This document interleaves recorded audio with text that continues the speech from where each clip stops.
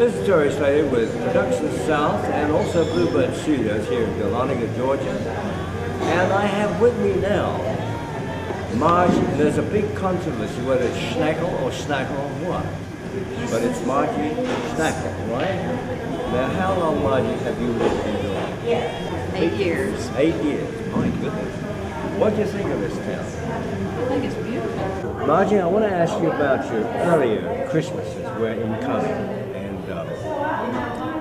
what sort of people, your mother and father, people like that, what sort of heritage the days were. You had a lot of fun. It was simple, poor fun, Oh yes, it was poor, very poor. but there's no shame in being poor. You you were honest, and you had principle and character. I can I can tell you that, and that's what's lacking in the world. A lot.